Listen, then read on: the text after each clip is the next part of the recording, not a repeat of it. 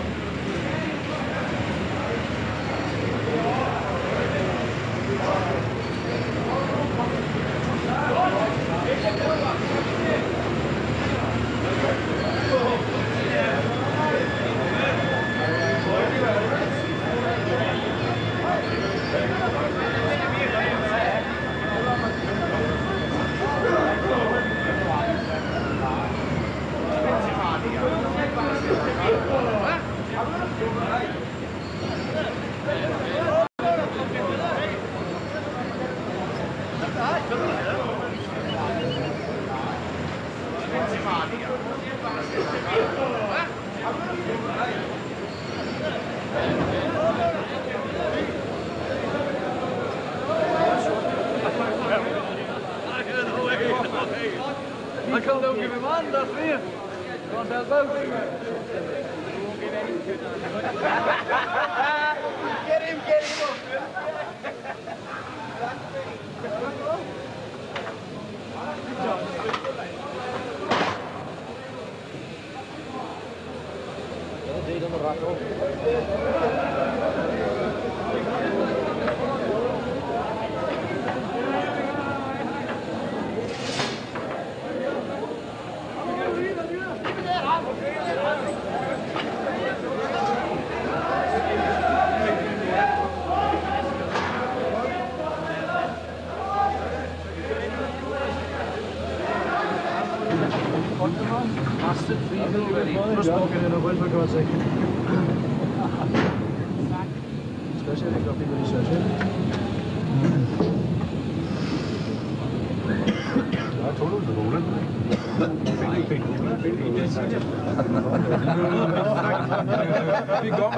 12. Sure. This has been relayed direct to the manager's office, boys.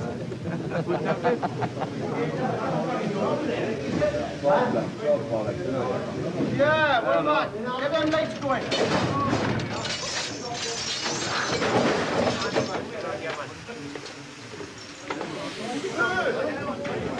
Complicated things all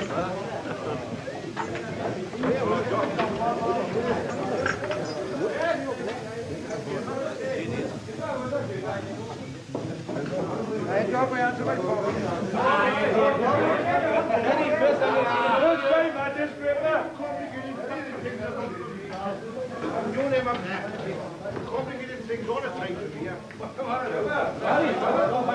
time to me.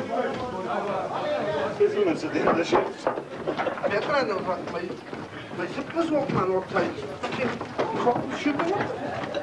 It was. You can only hold it with two hands, eh, you? More than one of the fellas was called all day yesterday, Charlie. You went to go try your try. I couldn't sleep last night. Well, you can do a share for me, alright? I'm going to curl up inside I will do that. Did you?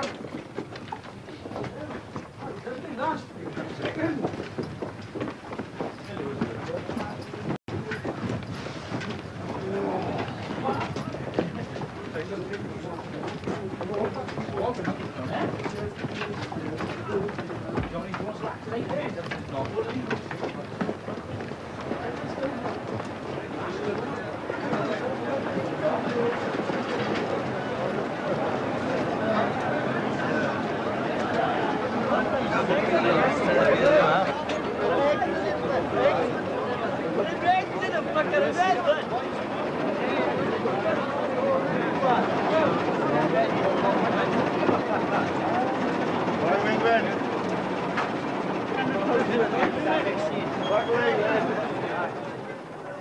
left school, and I dare say when Harry left school, the first thing your parents would say, you're not going underground.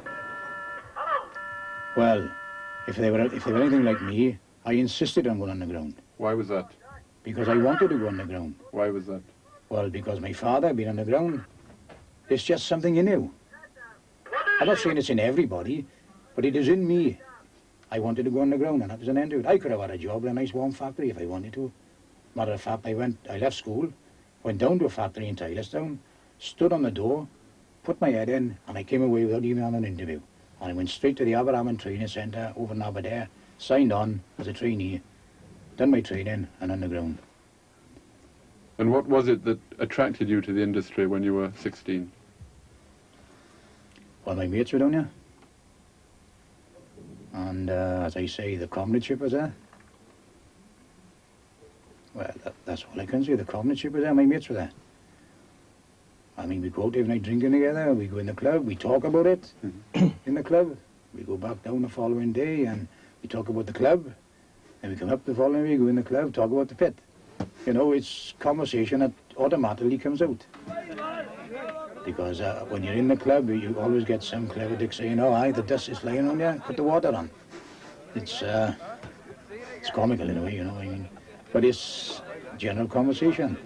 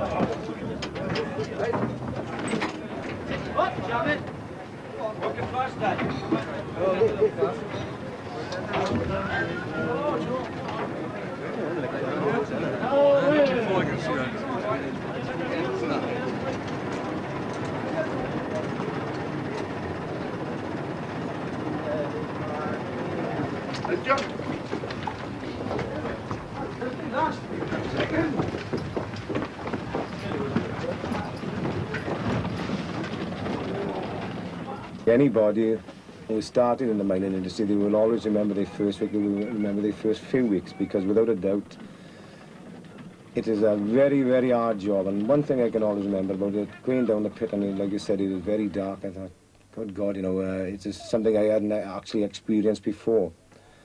And I was shoved, uh, put into a coal face straight away uh, with supervision of a, a person, namely at that particular time was Mr. Tom Jones. He was my supervisor. He trained me.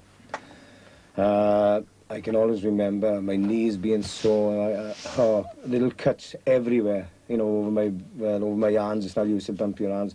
I, uh, one other thing I used to remember, I used to go home from work. There was no bars in those days, as you know, Krishna. Uh, just collapsed in the chair for two or three hours. And I was a young fella, you can say 17 years of age, then going into the mining industry, and really fit. But uh, I used to come home really, really shattered at that time. And uh, So what would you do when you got home at the end of the day? Well, I'll be honest, Chris, like I said, I'd collapse in a chair for an hour or two, and no different to anybody else, because they all done it. Then we get shower, a bath, and uh, you would go out for a few hours in the evening. Uh, then you'd be dreading the following day coming, because you think, well, God help me, I'm going back to the same thing that I'd done yesterday. And, uh, you know, doing the same thing over and over and over again. Uh, and knowing damn well, I've got to say this, and you're not bettering yourself, because it's a type of industry that I don't think you can better yourself. There are certain jobs you can, but majority don't do it. This is going to be your, it's going to be your type of work for the rest of your life, you know, like. They always used to say that mining made men out of boys. Yes, and I will agree with that without a doubt because the Yeah. point is, um, uh, if I can say from my own experience, and Arthur will tell you the same, um, when you put a lamp and you put a helmet on, right, and you go down that shaft and you go into that face, right, you become a man, without a doubt. It changes your character, it, it changes your outlook on life because it's something you've experiences, experience that you've never experienced before. What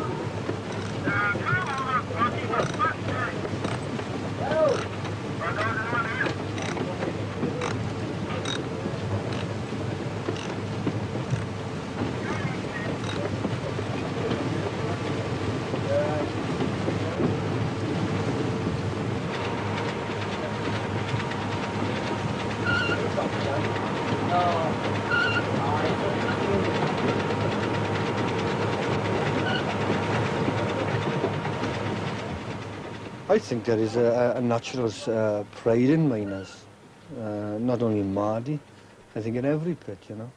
And sometimes it's underrated. And sometimes people criticise miners for being uh, irresponsible whatever. I've never seen miners irresponsible on the ground. They do take a pride in their work because they believe that in the conditions that they work, sometimes, you know, potentially dangerous uh, conditions, they have that in the back of their mind, so they've got to do the job to the best of their ability. They can't afford to be flippant about the kind of work that they do, you know, and that's why they build in this kind of pride. I think that's the real reason, is the safety factor that comes into it.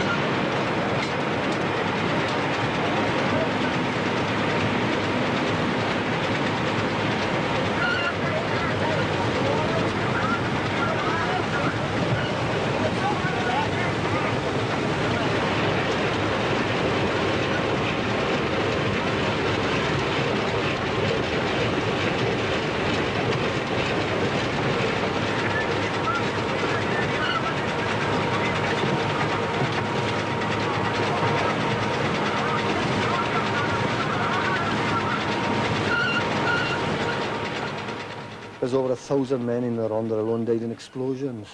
Some of the worst explosions um, in uh, in Great Britain in the Rhondda. Terrible ones. As a matter of fact, in Mardy, uh, there were 81 men killed on Christmas Eve, which sounds, you know, terrible, doesn't it? Before the turn of the century, there were 81 men killed on Christmas, Christmas Eve. Can you just imagine the, the terrible suffering that went on during that period? The pneumoconiosis in the Rhondda. Uh, the highest in uh, I believe that the Rhondda in the middle of the coalfield the highest incidence of pneumoconiosis anywhere in, uh, in Great Britain. Uh, wiped out, wiped out, uh, if I could say, faces of men. My father can tell me that there were men during his period, because he had to come up from underground because of miners nystagmus, a disease of the eyes. Uh, and uh, he, he, he tells me, and, and you can hear it from many men, you know, from many older miners, that there were men who worked on faces then of 20 to 30 men who worked on faces where were coal cutters were introduced, the early days of the coal cutter, where there was no uh, water suppression, uh, where the dust conditions were, so- were, so, so bad that within very within a very short period, two or three years, men were contracting dust. And what he tells me that there were men Uh, in the early 20s who dying of dust.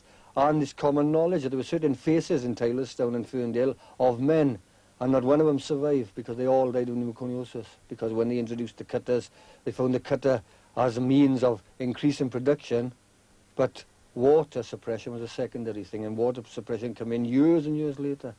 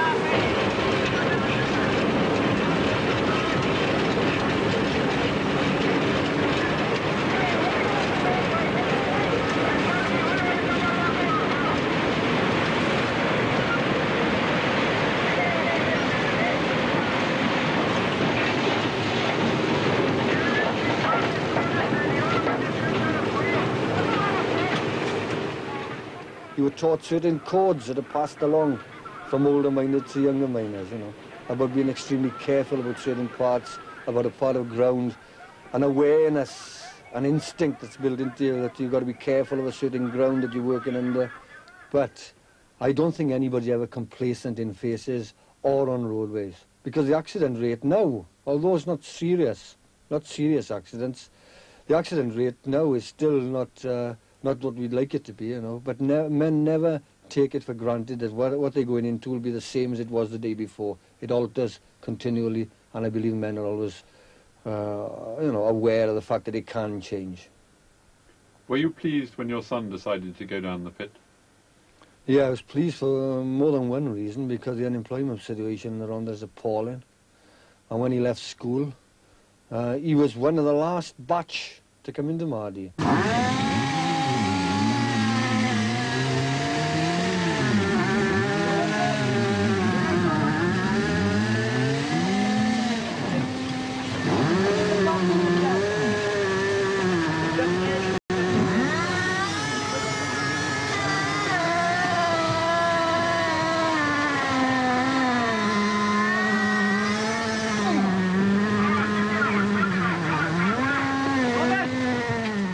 So as you're concerned, mining is a safe job today. safe by comparison to what it used to be. Uh, uh, and the regulations and the insistence of our union on carrying out safety and health regulations has improved a lot of the miner tremendously.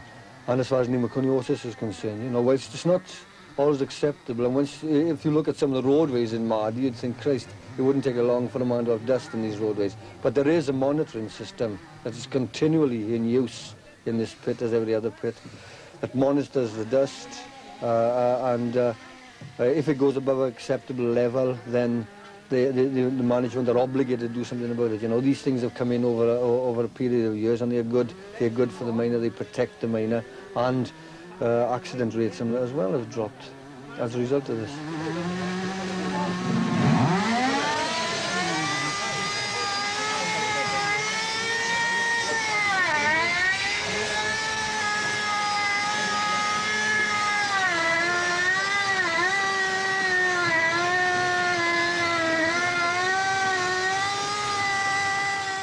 fourth generation. My son is the fourth generation of miners. My father, my grandfather came here from just outside Taunton in 1905.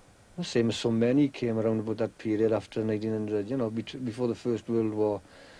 And uh, there's been mining in my family continuously until uh, Robert, uh, my son, hopefully will uh, continue to be a miner. I don't know whether he will be, and I don't think anybody else knows. You know, uh, but it, it is. Uh, there's a lot of sadness about it because with mining, with, mining, as mining goes, so something else goes with it. A community, a spirit, a confidence in, in, in your ability to fight back. Because mining was what is a catalyst of people's feelings. You know that they could surround themselves around the local miners' lodge, around the local lodge leadership to fight back against something that they detested.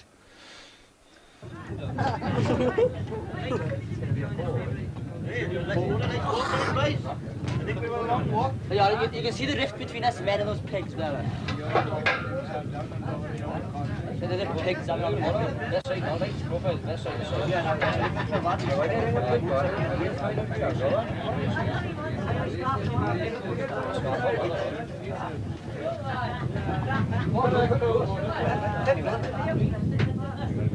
Somebody say you're going to walk out. Oh, I, I, would say the atmosphere down the quarry is fantastic. Uh, to anybody who worked in factories, I'll be honest, or, or outside work, right, uh, is a different atmosphere altogether. Because I'll tell you for comparison.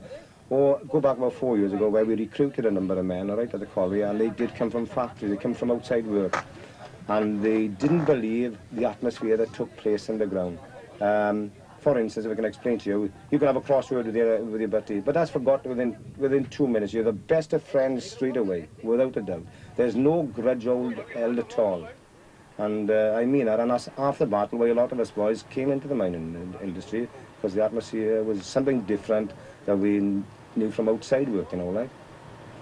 I think, probably, you know, Chris, that uh, that's why the mining industry is known uh, for it, you know. Uh, we're a, they say we're a different breed of people. I don't wonder at times, are we? But I think we are, because the the way we react, you know, like. Um, for instance, uh, someone's in trouble, all right?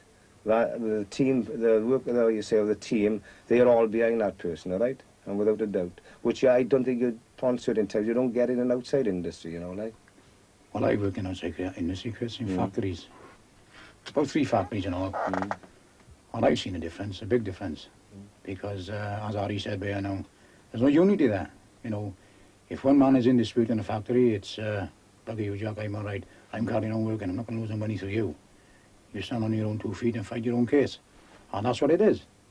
There's a lot of backstabbing there. And more so in factories uh, than anywhere else. But down this place is in a different kettle of fish altogether. Everybody, like I said, is together. All together, you know. If one's in trouble, we're all together.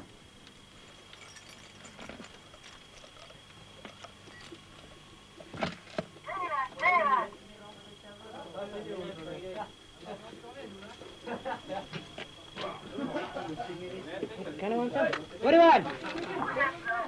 Brenya? Thanks. Yes.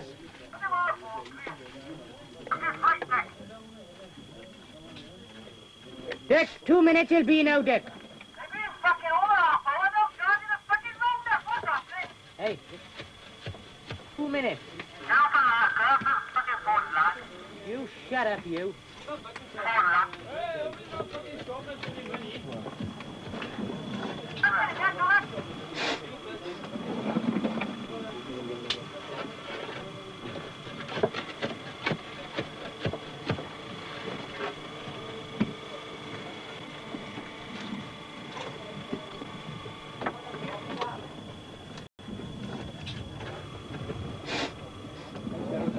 In the side, boys.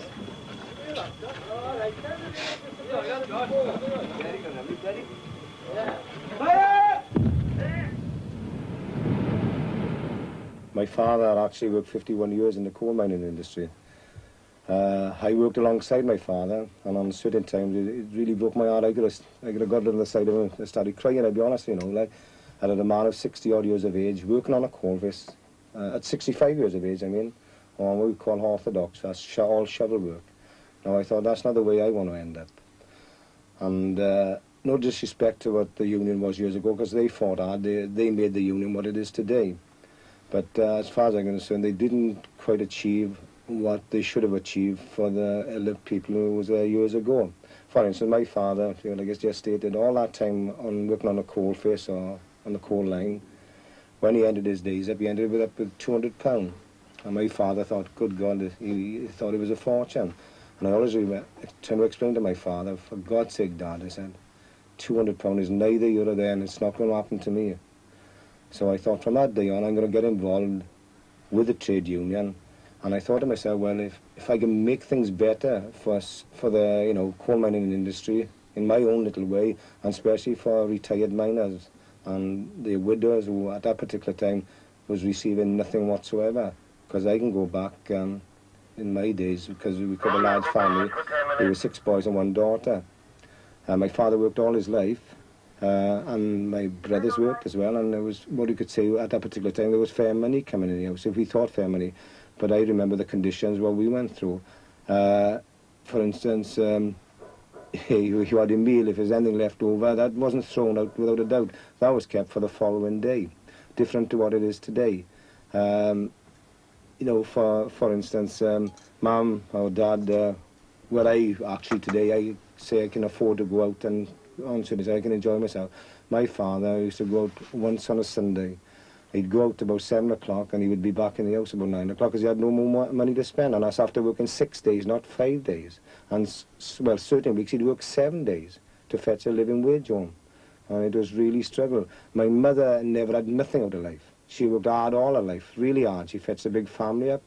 For my mother to go to the pictures once a week, that was her life. That was a, highlight of her life. Anyway, she wouldn't have nothing else whatsoever. So what I'm saying, you know, just I wouldn't allow that to happen to me, and I wouldn't allow it, allow it to happen to the uh, younger generation because I thought to myself, we're not going back to the old days with the serfs and bloody kings. We've had enough of that, like.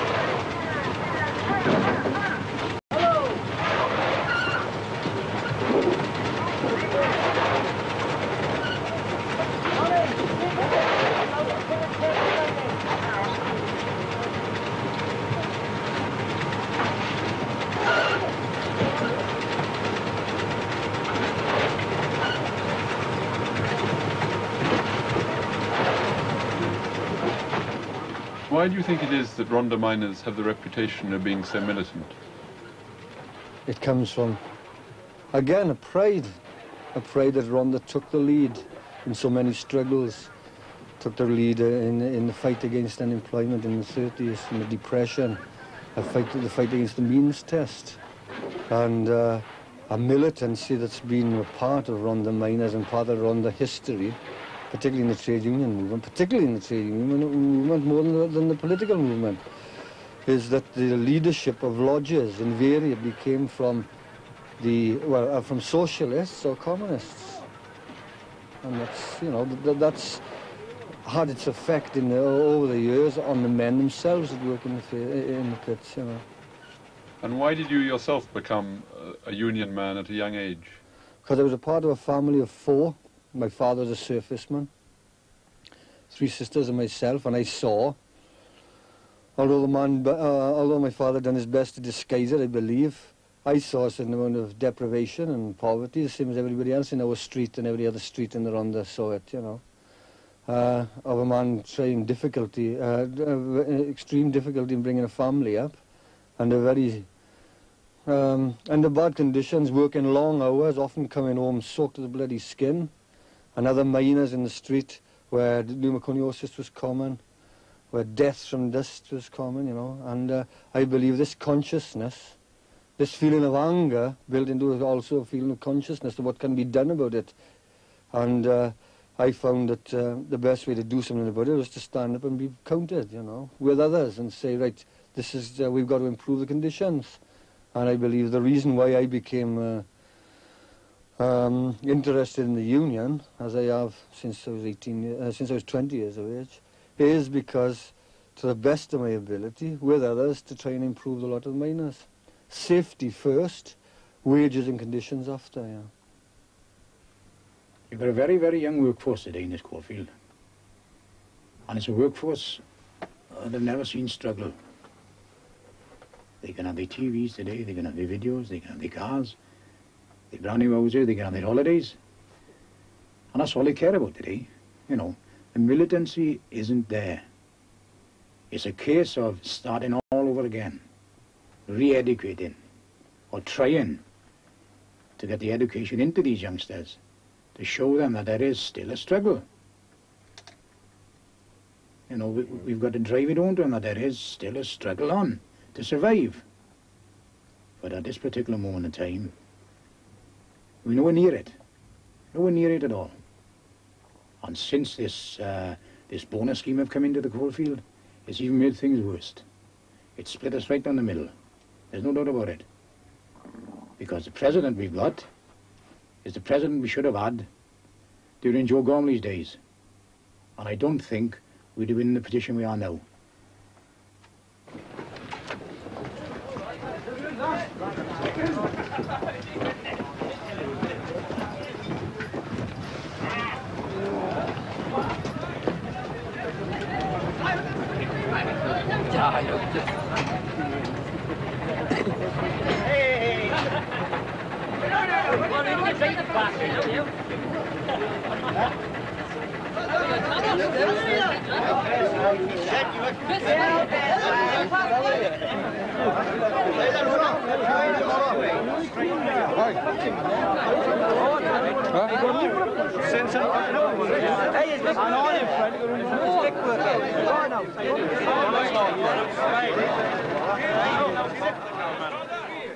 Some of the boys, they are born comedians without a doubt, and they don't realise it.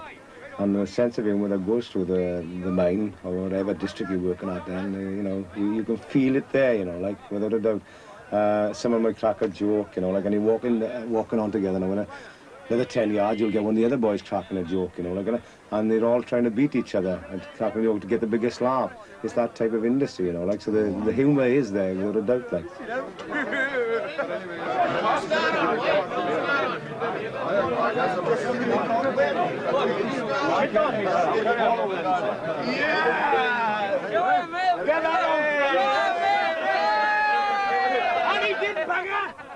The pit's a very male world, isn't it?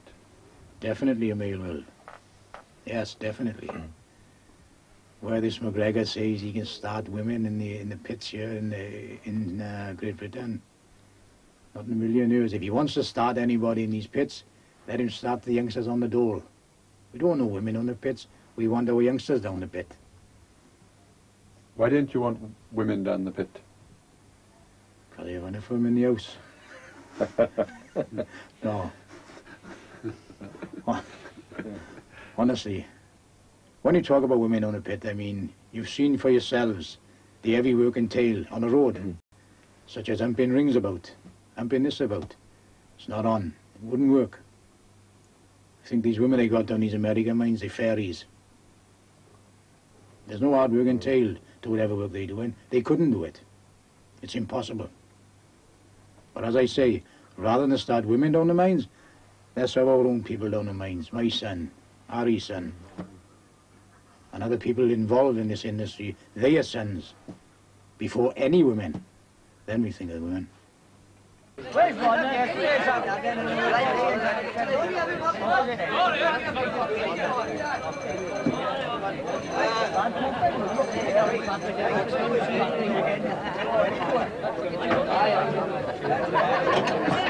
Yeah, from. Guy Ford.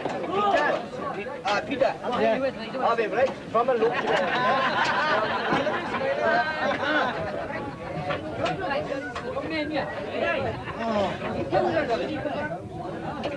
So are you hoping your son will be able to start down the pit? Yes, hopefully yes. Hopefully yes. Because at this present moment in time, he's just left school. He's 16 years of age. He's on the dole. He plays rugby for the local uh, local rugby club, which is Tylorstown. The only thing that does occupy his mind is playing records, going out training, and looking forward to a game of rugby. As for a job, well, we just got to wait and see, which I can't see anything at all coming to the valleys. So he's unemployed at the moment. Unemployed at the moment, yes. And it looks to be a long, long time before he'll have a job, the way things are looking. Is his name down for the pit? His name is down for the pit, yes. Yes. Whether he'll have a job, I don't know. Hopefully, and hopefully, I'm saying, hopefully, he will. If he can't get a job at the pit, where else could he find a job in this Rhondda Valley? Nowhere. Nowhere at all. Well, if I can say on behalf of my son, you know, James, which is 14 and a half, he's still at school, and he's simple like Arthur's son, he's, he's full of sport. Uh, he wants everything in the going. Um, and, you know, I try to provide him and my wife do with what we can. But uh, for the future, I can't see nothing here for my boy or, or even my family because the point is that there is no industry there's no money to be earned. And uh, I think, you know, personally myself, that uh, the quicker my boy, when he gets old enough, that he'll, he'll be on the move, he'll move from here, like, you know, without a doubt. How do, you, a- how do you feel about that? I would really break my heart without a doubt, uh, you know, because um, after all, um, uh, he's my boy, and uh, he's only. I got a daughter, like I explained to you, who's 29, and James is uh, 14 and a half. There's a big gap between the ages, and um, James is uh, like really part of my life without a doubt. Wherever he goes at a particular moment, I am with him. Wherever he goes playing football, I follow him. Uh, he makes my weekend for me, and without a doubt, like so. Uh, foreseeing that there's a possibility that in the future that he could move away from here, uh, I would really be despondent without a doubt. Like.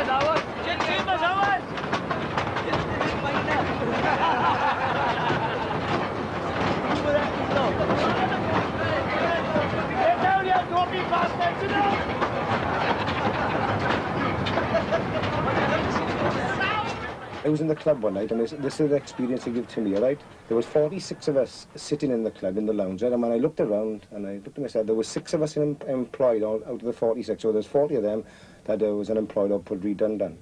So I, 40 men out of 46. Yes, there was definitely 40 of them in the room that was uh, either unemployed or being redundant, out of a job. So I'm going to say, you know, if we lose these amount of jobs in Mardy, I can see uh, the problem getting greater, without a doubt. It, it, it will have a, a massive effect on the community, without a doubt. If there's no money uh, to be earned or to work for, right, you can't spend what you haven't got. And I can see it rebuffing back on clubs, shopkeepers, well, whatever you wish to think of, you know, like. I think it'll be a drastic effect. I think, personally myself, it could be the end of the community. Uh, a lot of people might not uh, believe me in saying this, but I have seen what it's done to my own uh, little community, Blind High. It uh, definitely have affected our little community, without a doubt, uh, because uh, actually working on books in Mardy from Blind High, and we must realise there's no other industry around, there are about 30 people. Uh, I think the population of blind, for instance, it could be up to about two to 3,000 people. Well, you take uh, 30 working out there, it's ridiculous, isn't it? We've got a commitment that we're not going to allow them there on the valley to die, you know, and this is the last bit and can contract into something that is totally different to what it is now and totally ineffective, perhaps. But it's a very, um, it's a subject that we, with other people, have got to get together and discuss and try and do something about because we failed three years ago. We called a meeting in Ferndale Workman's Hall. I can remember the time we called it, it was three or four years ago, I'm not sure. And we decided that we were going to do something. So we called a meeting asking people to come to, to this meeting to discuss unemployment and what can we do about it. Because we felt strong, we felt angry about it, that so many youngsters were leaving school. And not only youngsters, older people, as a, you know, as an older generation. And we talked, uh, and, and we called this meeting and, and nobody turned up except the lodge officials. So there's been a complacency even amongst the unemployed that they can't do anything about it, you know. So there's got to be somebody has got to sort of rejuvenate confidence in people that they can fight and struggle to get work. I believe anyway.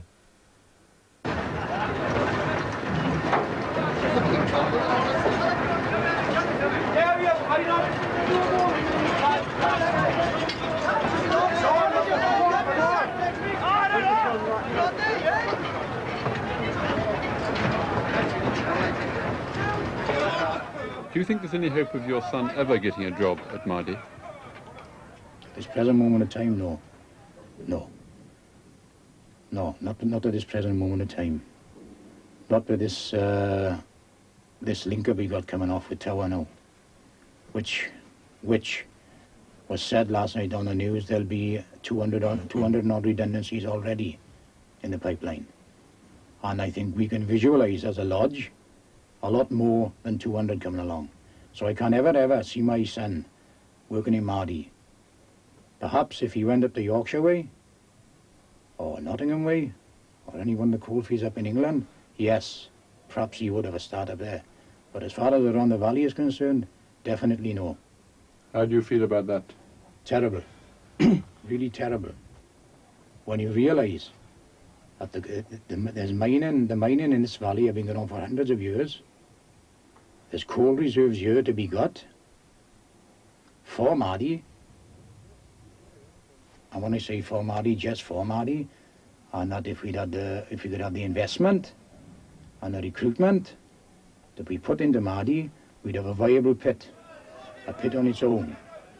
Most definitely. Because I think, well not think, we know the reserves in Mardy are tremendous. There's a good 20 to 25 years work here, if not more.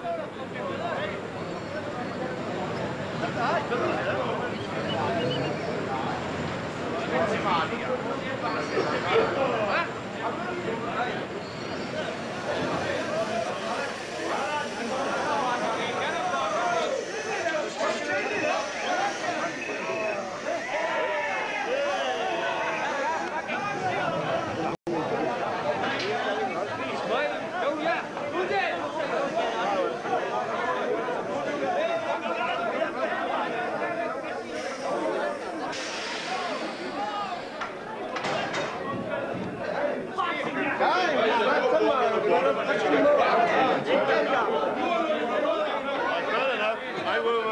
will with my boss. These bottom gates won't go up until the bottom of